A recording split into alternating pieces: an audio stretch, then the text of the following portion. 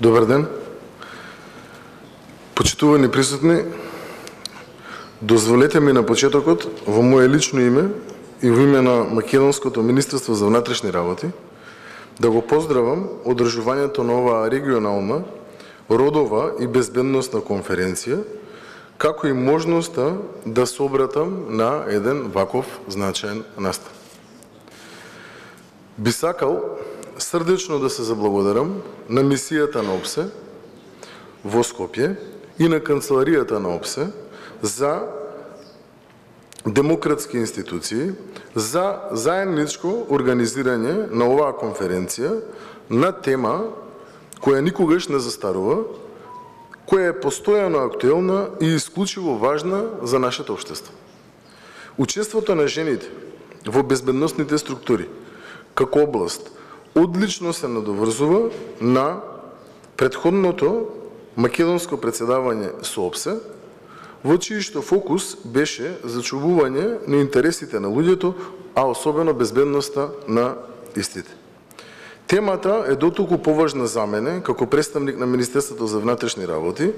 во чии редови традиционално доминира машкиот пол.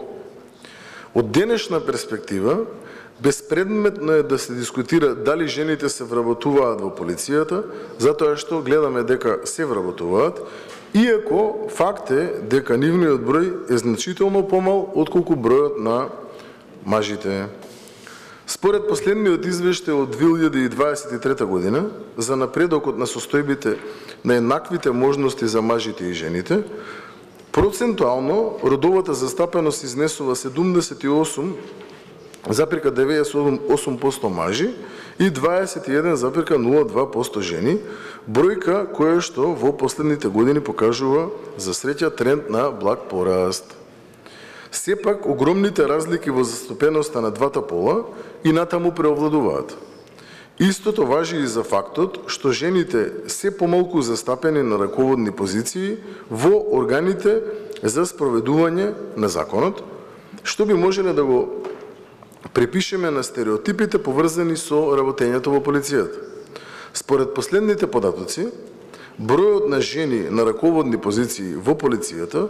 за среќа покажува тренд на зголемување, па така во 2023 година изнесувал 17,8% наспроти 12,5% во 2019. Но сепак нискиот процент на нивна застапеност на раководни позиции и понатаму останува поразителен факт. Дополнителни предизвици со кои што се соочуваат жените при полициското работење се нивното задржување на одредено работно место, нивната застапеност во специјалните единици, како и напредокот во кариерниот систем, што се должи делумно и на нивниот обид за постигнување на равнотежа помеѓу професионалниот и семејниот живот, задача која што е тешка за сите нас, но особено е тешка за женскиот пол. Во таа насока сакам да потенцирам дека борбата за давање на моќ на вработените жени во полицијата продолжува и понатаму. Нашите колешки и колеги ја водат таа борба токму преку континуираниот развој и унапредување на нивното знаење со примена на најдобрите практики, учество на бројни конференции посветени на родовото прашање, преку користење на родово чувствителен јазик со цел жените во полицијата да станат повидливи, преку функционалноста на координаторот за еднакви можности и за крај, но и не најмалку значено, токму преку програмата за родово менторство поддржана од страна на ОПСЕ, во која што околу 150 учесници беа обучувани за различни работни вештини и преку која се зголеми свесноста во Министерството за родовата различност и за потребата од вклученоста на жените во полицијата. Би сакал да подсетам на резолуција 1325 на Советот за безбедност од 2000 година, која го дава темелот врз кој се заснова работата за давање на моќ и сила на жените во разни професии денес. Имено, неслучајно ја споменувам резолуцијата, затоа што токму тој документ препознава дека жените може да играат клучна улога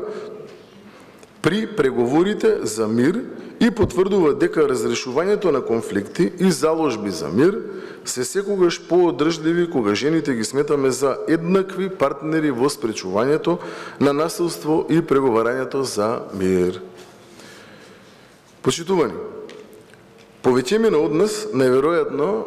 ја чуле онаа стара добро позната шега Доколку жените го водеа светот, немаше да постојат војни, туку само земји кои ќе беа лути едни на други и немаше да разговараат едни со други. Без разлика дали сметате дека е смешна или не, затоа што сепак е шега, заснована на родовите стереотипи, против кои сите се бориме, како раководители на структури од каде што доаѓаме, повикани сме да продолжиме да ги совладуваме застарените принципи за улогата на жената, да ги менуваме тие принципи и да останеме посветени на тоа се до постигнување на целосна, правична и родова еднаквост. Убеден сум дека Одржувањето на овој настан, кој има за цел олеснување на размена на искуства, добри практики и предизвици за промовирање на родовата еднаквост во органите за спроведување на законот во регионот на Југоисточна Европа, Надополнета со искуствата од теренските мисии на ОПСЕ во регионот, како и Канцеларијата на ОПСЕ за демократски институции и човекови права, ќе има значаен принуденес во унапредувањето на родовата еднаквост во безбедносниот сектор. Непосредно, пред да завршам, би сакал да информирам дека во Министерството за внатрешни работи постои иницијатива но пред се и политичка волја за формирање на мрежа на жени во полицијата, нешто што во повеќе земји од регионот функционира веќе подолг временски период. Во оваа насока би сакал да подвлечам дека Македонското Министерство за внатрешни работи ја очекува поддршката од вас и во оваа насока. При самиот крај би сакал да ги поздравам напорите на мисијата на ОПСЕ во Скопје за подигнување на јавната свесност за јазот кој се уште постои меѓу мажите и жените во безбедностите професии, но воедно и за конкретните заложби кои што ги преземате за надминување на овој проблем. Ви благодарам.